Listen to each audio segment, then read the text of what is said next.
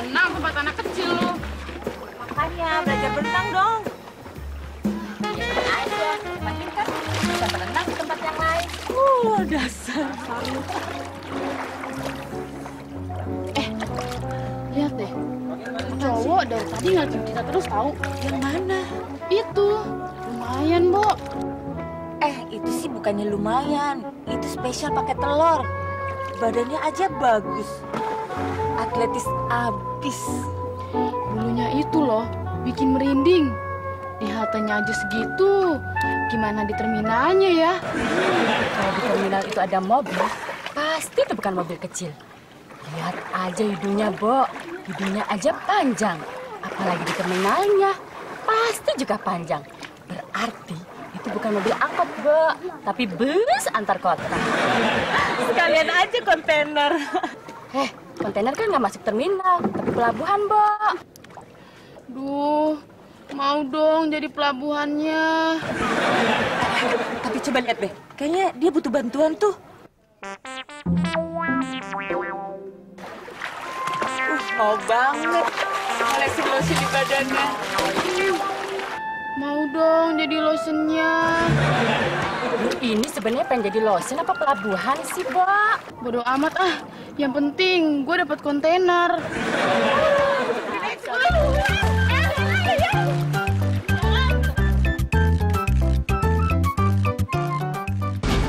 Mas, kamu itu dokter apa tentara sih? Sebentar-sebentar panggilan tugas lah. Ditunggu pasien lah. Masa ngantarin aku luluran aja nggak ada waktu sih? Kemarin juga kayak gitu kan. Katanya luluran. Eh, nggak tahunya manikur, pedikur, keriting bulu mata. eh. Lebih dari tiga jam aku nunggu. Mana banyak bancinya lagi. Tapi kan ini buat malam pertama kita, Mas. Biar rasanya beda.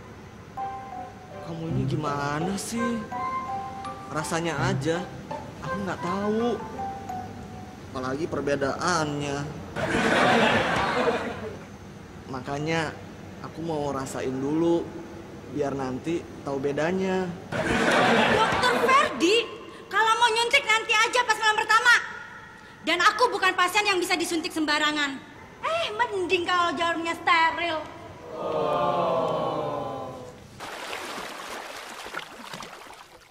Sekarang gini aja. Pelabuhan siapa di antara kita bertiga yang berhasil menarik si kontainer itu? Boleh. Siapa takut? It's showtime!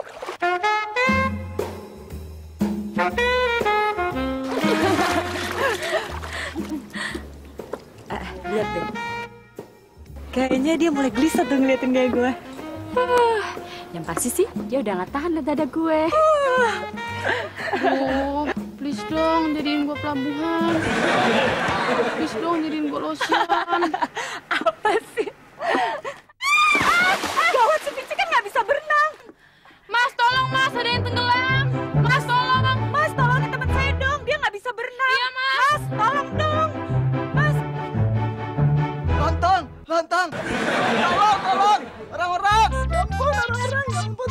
ampun, mati deh tuh cewek mati. Kesian, ya ampun. Tolong, ya, tolong. banci.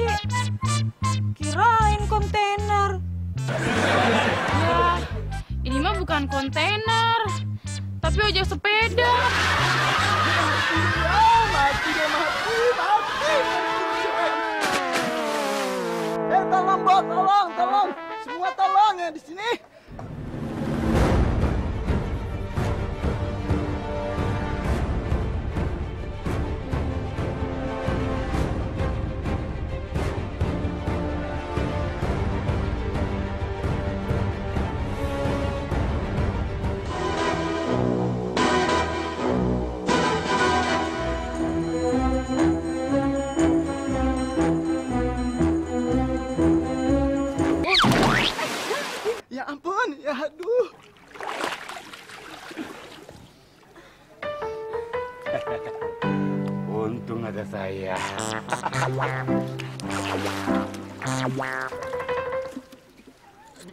Eke ya, yang ini nih, yang kasih napas buatan. Gak usah. Biar aja, biar aja. Eke tahu, Eke Saya tahu, bisa. Bo. Eke tahu, Bu. Eh, Ah, Udah cepetan kek kasih nafas buatan keburu mati beneran nih. Benci ya sama tuh kayak kakek dasar tua. Benci ya sama dia. Vi, bangun. Lo gak kenapa-napa kan? Gue di mana nih? Lo tadi kecebur, terus lo pingsan. Untung ada yang nyelamatin lo. Dia ngasih lo nafas buatan. Iya.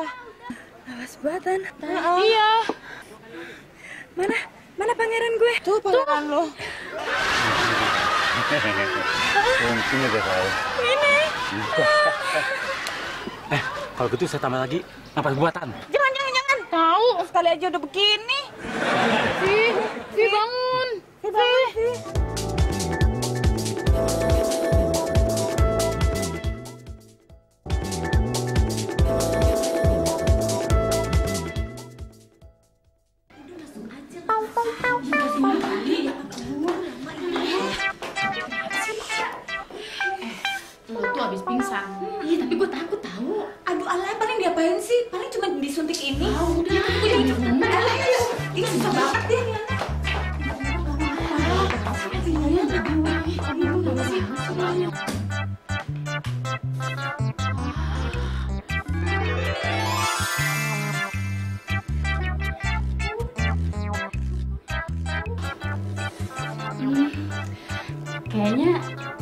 aja deh. Ah, gitu sih, gue nggak apa-apa kok. Gih. Tadi lu katanya takut. Deh, sekarang udah nggak takut lagi. Ya, please deh. Ya, tinggal aja, nggak apa-apa. Pokoknya kalian nggak usah khawatir, ya. Tuh, kita sih bukan khawatir sama dia, dok. Tapi kita khawatirnya sama dokter. Ntar dokter dia apain lagi sama dia. Enggak, nggak apa-apa kok. Uh,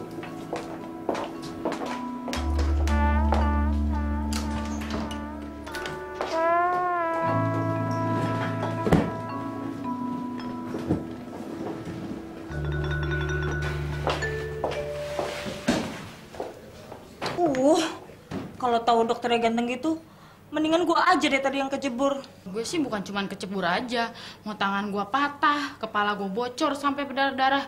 Gue lakuin deh. Soal gue ketemu dokter ganteng kayak gitu. Ih, itu sih namanya bego. Loh, emangnya kenapa? Sekarang mana ada orang yang mau sama cewek yang mukanya hancur?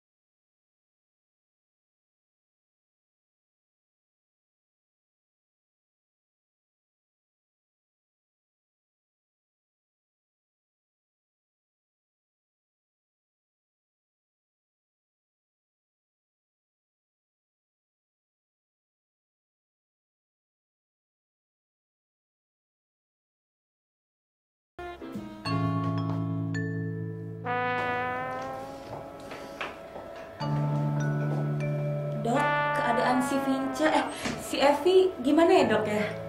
Oh, nggak ada yang serius kok. Dua hari lagi dia boleh datang untuk check up, ya. Tapi nanti malam kalau saya pusing lagi, saya boleh dong langsung hubungin dokter. Oh, boleh, boleh, Kalau mau disuntik. boleh. Ah, yes. Dok, eh, saya juga ngerasa nggak enak badan nih. Eh, bisa diperiksa nggak? Oh, tentu saja boleh. Silahkan daftar dulu di depan. Bener nih boleh dok. Tentu saja. Tapi berhubung jam praktek saya sudah selesai, kalian nanti akan diperiksa sama dokter Ana, ya? Nggak jadi Disuntik dong.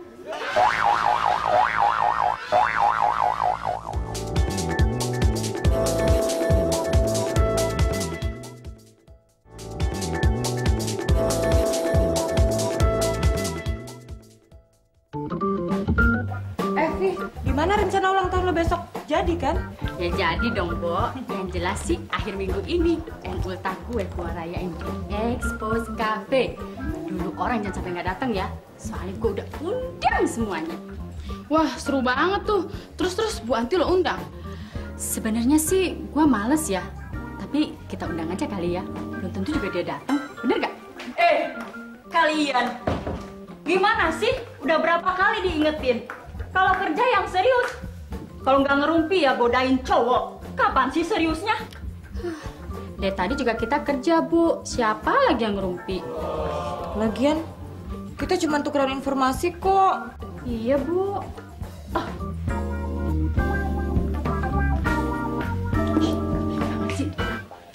Jabang bayi. Untung aja di mertua gue. Ih, itu kan wajar, dia kan udah tua. Oh iya, gue lupa. Malam ini kan gue ada janji sama dokter Ferdi. Lo mau ke sana lagi? Mau check up, Bo.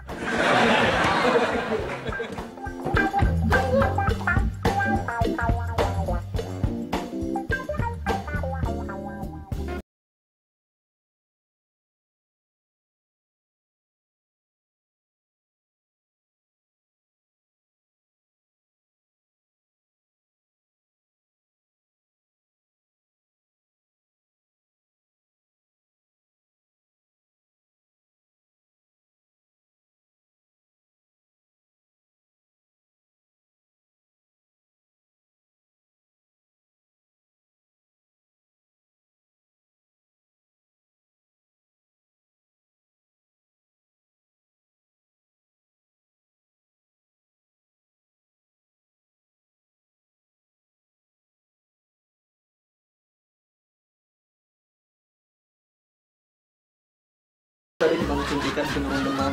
Nggak apa-apa kok. Tapi sakit, dokter. Loh, tadi kan kamu yang minta disuntik.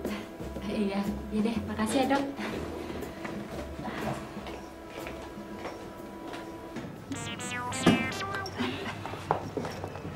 Gimana, gimana, Vi?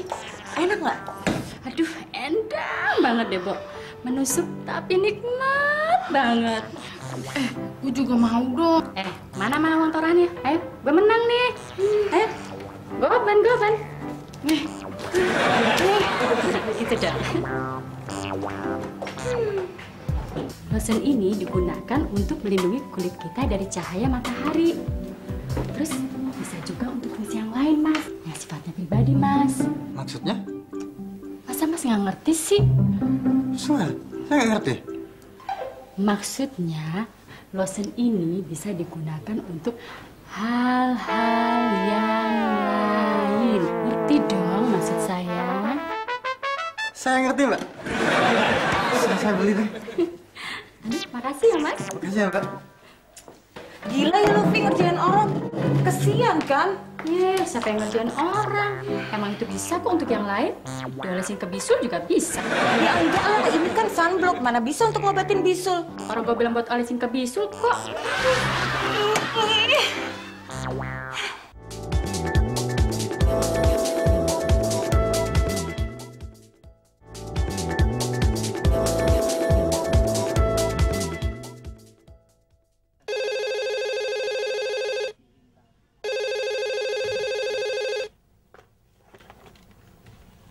Halo? Halo? Sayang, kayaknya aku nggak bisa nemenin kamu deh. Soalnya aku mesti gantiin dokter Widodo. Kamu ini gimana sih, Mas? Katanya hari ini mau fitting baju. Kamu mulai macam-macam ya, Mas? Jangan marah dong sayang. Jangan egois dong, Mas.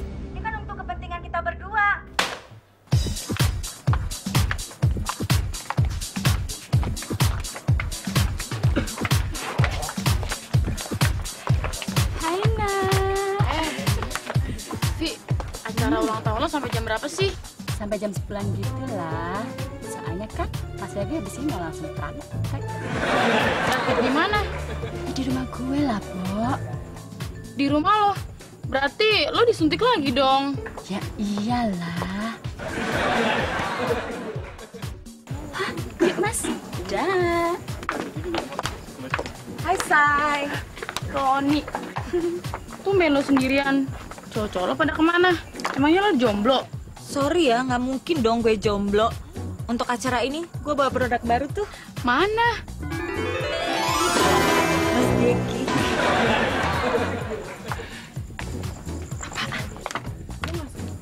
Emangnya lo nggak takut pada copot apa? Biar onder deal veteran. Tapi kan masih orisinil dan mantap tau. Lagian, pengusaha garmen gitu loh. Hah? Pengusaha garmen? Iya, dah. Dasar matre. Eh, kalian ada yang punya kenalan pengusaha nggak sih? Ada, ada. Kenalin gue dong. Datang aja ke rumah gua. Kok ke rumah lo? Iya, orang pengusahanya bokap gua. Bokap lo. Aku senang deh Mas Ferdi datang. Apa sih yang nggak buat kamu? Yang bener sih Mas. Berarti malam ini jadi dong praktek di tempat aku.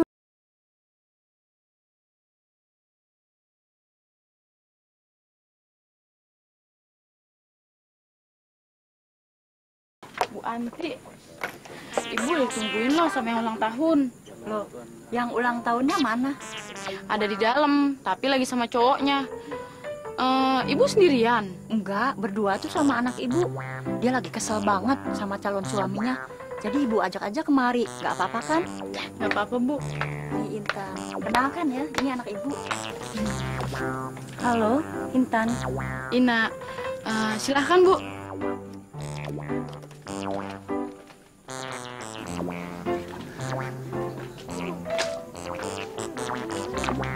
Loh, Fer,